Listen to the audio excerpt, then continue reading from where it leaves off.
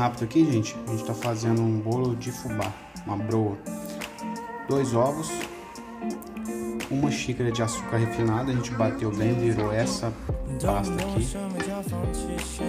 Agora a gente colocou duas colheres de manteiga. A gente vai bater bem. Depois que a gente bater e dissolver essa manteiga, a gente vai bater aqui 240 ml de leite ou uma xícara de chá. Adicionar duas xícaras de fubá. Continuar batendo. Uma colher de sopa de fermento bem cheio. Misturar. Então, tirar um pouco da aqui.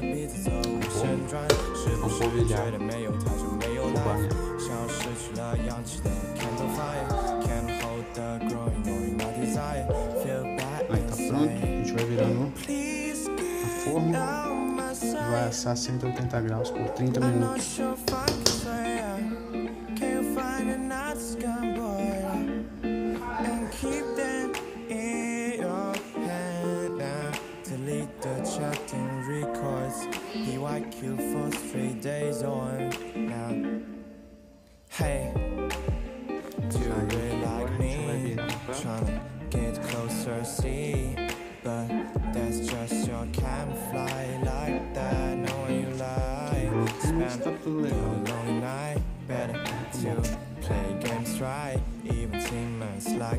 wasn't you did.